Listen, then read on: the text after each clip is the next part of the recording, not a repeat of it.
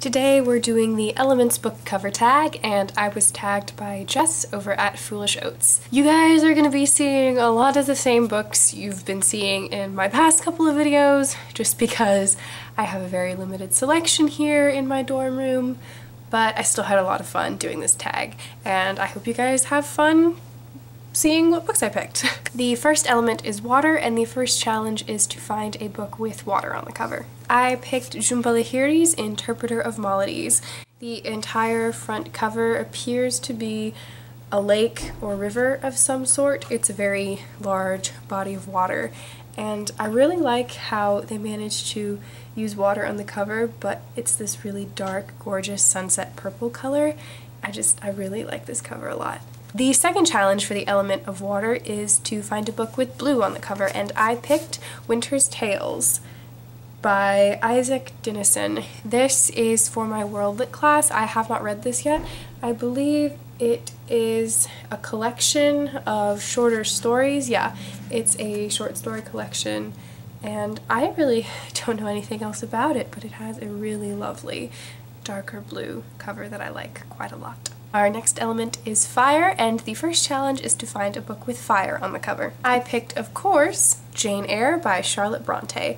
This is the Penguin Drop Caps Classic Edition.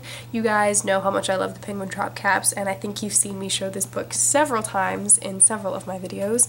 I really love the way that the fire works on this cover, and I just love how Penguin manages to give each book its own unique style, but they still work together as a cohesive unit, and each detail tells you something about the story. The next challenge under the element of fire is to find a book with red on the cover, and I picked The Catcher in the Rye by J.D. Salinger. This is probably one of my absolute favorite book covers of all time. It's so simplistic, it doesn't give anything away about the story, and it's really abstract and fascinating to look at. Like, I really love the way that The Catcher in the Rye is packaged.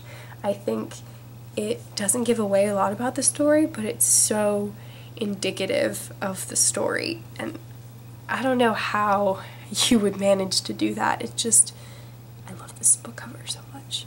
The next element is Earth, and the first challenge is to pick a book with something related to Earth on the cover. I picked Jeffrey Eugenides' The Virgin's Suicides. I love how a photograph is incorporated on the cover, but it's not a photograph in the sense that it gives you images for the characters. It just gives you a sort of image to work with for the entire narrative of the novel, and it's really lovely with the rest of the cover, which is solid white. The next challenge under Earth is to find a book with green on the cover, and I picked Dark Places by Gillian Flynn. Up at the top, the tree roots are this really creepy green color, and that gives such a creepy feeling to this book. Like, looking at this book cover makes me unsettled because you have the very dark cover matched with this bright blue and this kind of eerie, almost ghostly green and it gives the entire novel a very unsettling feel just by looking at the cover. The next element is air and the first challenge is to find a book with air on the cover.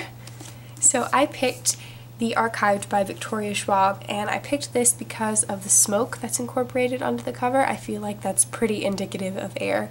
I really like how this face is made up of smoke. I don't know, this book cover is just fascinating to me. I it tells me nothing about the story, but it gives me a really cool vibe and makes me really want to read it. The next challenge under air is to pick a book with white on the cover, and I picked Ordinary People by Judith Guest, which is almost entirely white.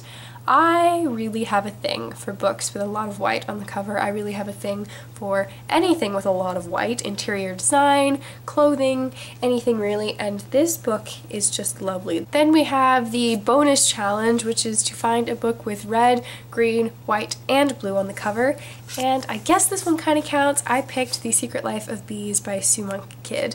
I do have this in the Penguin Drop Caps. I bought this to give to a book drive, and I just haven't gotten around to dropping it off yet.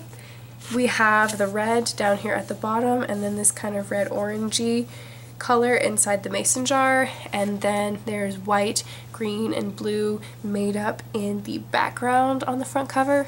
I really love how this book cover is a painting. I really like when books manage to incorporate some kind of painting or landscape or portrait onto their covers and make them work really well, and The Secret Life of Bees definitely does that. So that was the Elements book cover tag. I'm not going to tag anyone because this tag is super old and all of my kind of booktube friends have already done it, so uh, I'm just not going to tag anyone, but um, if you guys want to do this tag, definitely consider yourself tagged. Go ahead and do it and link me your videos in the comments below. Or if you've already made an Elements book cover tag, link it to me in the comments below as well. Thank you guys so much for watching and I will talk to you soon. Bye.